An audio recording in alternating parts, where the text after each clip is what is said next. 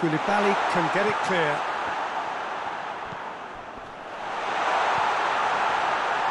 And the finish! It's in! Simplicity itself.